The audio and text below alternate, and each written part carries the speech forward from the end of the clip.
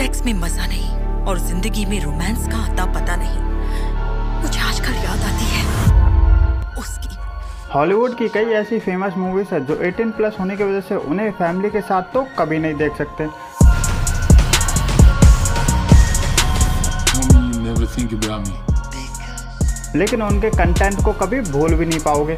तो आज के हमारे लिस्ट में पाँच हॉलीवुड की ऐसी मूवीज़ के बारे में जानेंगे, जिनके कई बोल्ड और अडल्ट सीन के साथ उनके कंटेंट को भी काफ़ी यूनिक बनाया गया है। और सभी को फाइव टू वन के लिस्ट में डिस्कस करेंगे तो चलिए शुरू करते हैं।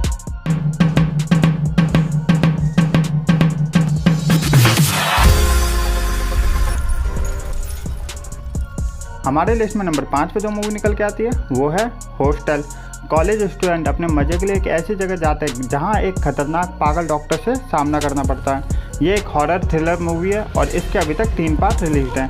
इस मूवी के स्टार्टिंग के थर्टी मिनट में आपको कई अडल्ट सीन देखने को मिलेंगे, लेकिन उसके बाद इस मूवी को हॉरर क्राइम थ्रिलर की कैटेगरी में घुमा दिया गया है। और इसमें एक पागल डॉक्टर को दिखाया जो ज़िंदा लोगों का ऑपरेशन करता है। और ये सीन्स इतना ज़्यादा खतरनाक है कि इसको सिर्फ़ वही देख सकते हैं, जिन्हें रॉन्ग टर्न जैसी मूवीज़ पसंद है और कमज़ोर दिल वालों के लिए तो ये बिल्कुल नहीं है।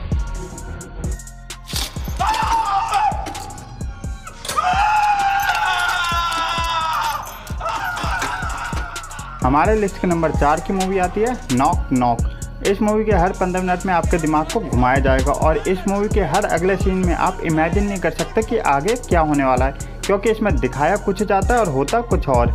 इसमें दिखाया गया है कि दो लड़कियाँ अपनी मजबूरी दिखा के किसी के घर में घुस जाती है, उसके बाद उसके घर पे पूरी तरह से कब्जा कर लेती है। और इतना ही नहीं, घर के मालिक को इस तरह टॉर्चर करती है कि आप इमेजिन नहीं कर पाओगे। और ये मूवी आपको इस तरह फील कराएगी कि आप खुद उसे जाकर सबक सिखाना चाहोगे। eventually gets you killed. I'm a good guy. I'm a good Boy, your family are victims of your perverted. What happens when you break the rules, Evan?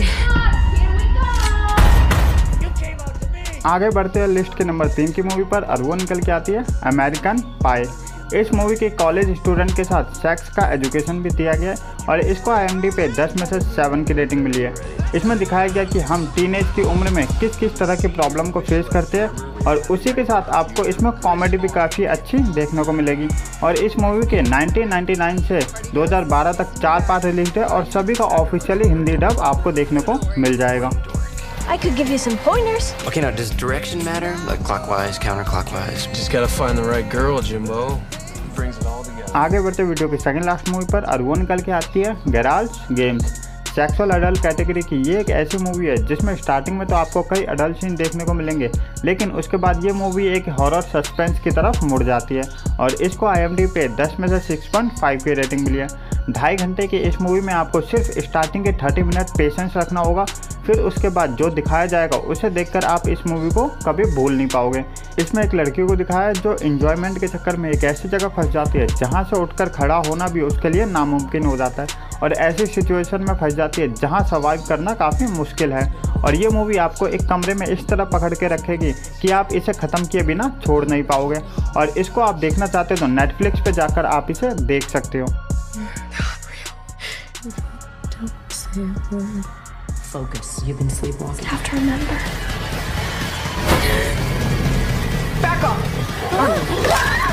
If you don't wake up, you're gonna die.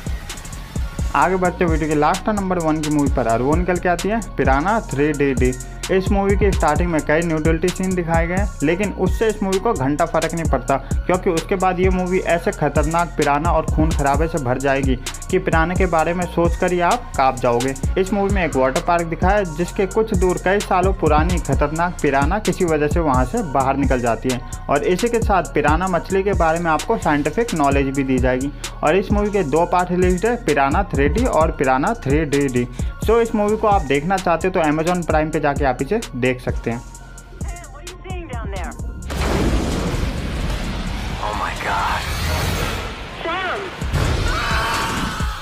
तो हमारी आज की video यहीं समाप्त होती है। Video अच्छा लगा हो तो लाइक एंड शेयर करना और ऐसे इंटरेस्टिंग मूवी और सीरीज़ के साथ लेटेस्ट मूवी रिव्यू और मूवी फैक्ट के लिए हमारे चैनल को सब्सक्राइब करके बेल आइकन को ज़रूर प्रेस कर देना, जिससे उन वीडियोज़ की नोटिफिकेशन आप तक आ जाए।